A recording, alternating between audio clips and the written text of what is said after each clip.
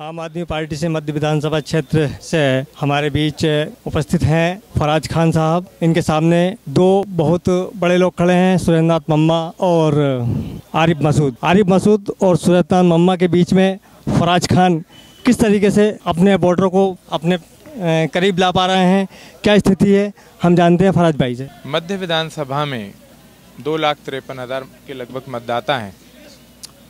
पिछले दस साल से भारतीय जनता पार्टी के विधायक मध्य क्षेत्र में रहे और दोनों बार भारतीय जनता पार्टी के विधायकों के जीतने के बाद भी मध्य क्षेत्र जो है, आज विकास की राह तलाश रहा है कि विकास कोसों दूर इस राजधानी में उस विधानसभा से है। पानी की बहुत समस्या है, ट्रैफ़िक की बहुत समस्या है, लोगों के राशन कार्ड नहीं बन रहे हैं महँगी बिजली मिल रही है, सड़कें खराब हैं। लोग स्कूल और कॉलेज के लिए खास तौर पे उस क्षेत्र में परेशान हैं। आज 10 साल में भारतीय जनता पार्टी के विधायक एक स्कूल नहीं, नया नहीं बना पाए उस क्षेत्र में, एक नया अस्पताल नहीं बना पाए।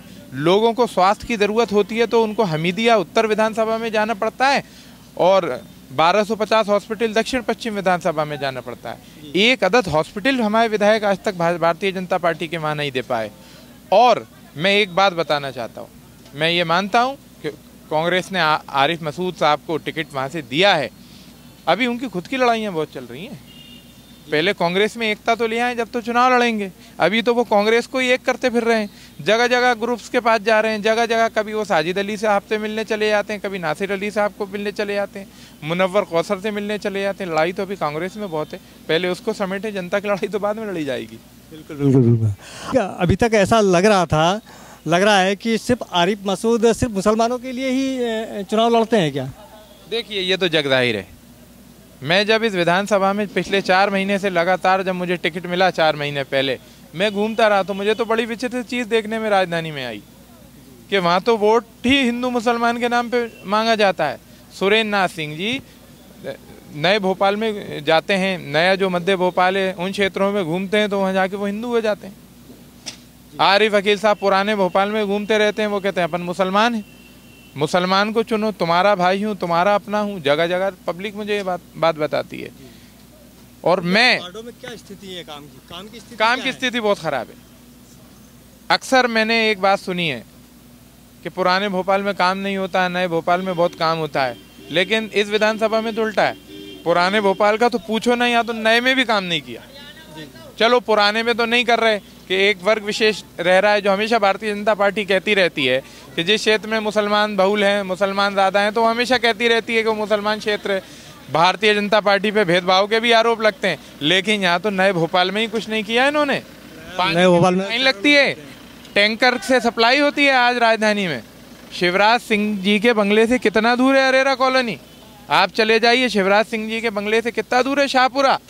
शाहपुरा में आप चले जाइए दो घंटे लोग लाइन में लगा के पानी का इंतज़ार करते हैं। काम धंधे छोड़े हुए हैं महिलाओं ने। काम पे नहीं जा पाती हैं कि पानी आना है। पानी आने का कोई समय नहीं है। तो आप ये बताइए कैसे क्षेत्र का विकास होगा? चलिए हम यदि फराज खान साहब आते हैं मध्य मध्य विधानसभा से तो क्या करवाएँगे? देखिए मैंने सबसे पहले जो जनता से वादे किए मैं पिछले चार महीने से डोर टू डोर पूरी मध्य विधानसभा में चला रहा हूँ। चार महीने में दो लाख लोगों से मैं मध्य विधानसभा में मिल चुका हूँ फेस टू फेस बात कर चुका हूँ घर जा चुका हूँ।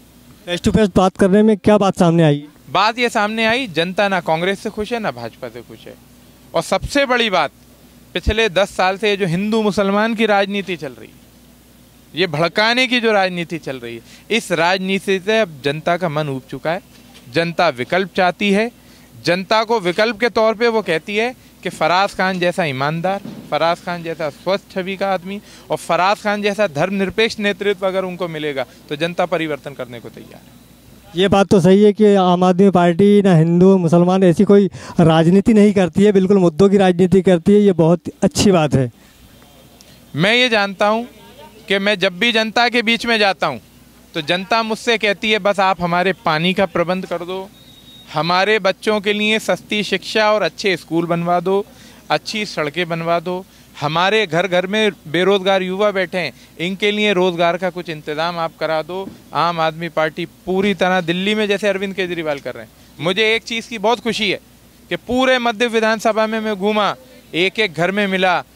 महिलाएँ हों, युवा हों, पुरुष हों, सब जानते हैं कि अरविंद केजरीवाल ने दिल्ली में बहुत शानदार काम किया और लोग कहते हैं कि अरविंद केजरीवाल ने जैसा स्कूल जैसी शिक्षा के जो बुनियाद वहाँ खड़ी करी है अच्छे स्कूल खड़े करें अच्छे अस्पताल बनाएँ और लोग ये भी कहते हैं कि शिवराज सिंह प्रदेश तो छोड़ो राजधानी में भी एक अच्छा स्कूल नहीं बना पाए एक अच्छा अस्पताल नहीं बना पाए। उल्टा मैं जनता के बीच में जाता हूँ पुराना भोपाल का जो मध्य क्षेत्र है गैस पीड़ित जनता है मुआवजा नहीं मिला है। भोपाल मेमोरियल स्कूल नाम की एक भोपाल मेमोरियल हॉस्पिटल नाम का एक ही अस्पताल था गैस वालों का। उसमें भी जाइए तो जंग लगे तो इक्विपमेंट्स हैं वहाँ पे। डॉक्टर अब आ नहीं रहे। और मैं तो आपको बताऊँ धीरे धीरे भोपाल हॉस्पिटल जो है वो बंद होने की कगार पे है।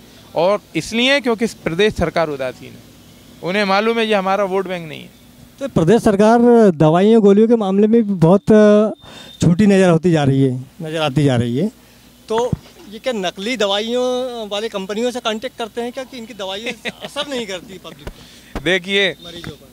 ये तो स्वास्थ्य मंत्री जी बताएँगे कि किन से दवाएँ खरीद रहे हैं रिश्तेदार हैं परिचित हैं कि मानक के आधार पर दवाएँ खरीदी नहीं जा रही हैं। लगातार पिछले चार साल से मीडिया में आता रहा है अखबारों में पढ़ते रहे कि मानक के आधारों पर दवाएँ नहीं खरीदी जा रही हैं। क्योंकि जो महँगी महँगी दवाइयाँ हैं वो तो मेडिकल पे मिलती है और जो छोटी छोटी हल्की हल्की दवाइयाँ जिससे कोई असर ही नहीं करती वो दवाइयाँ देखिए देखिए मैं तो आपको बताऊँ मध्य प्रदेश के अस्पतालों में तो जो दवा मिलती है वो चूरन है।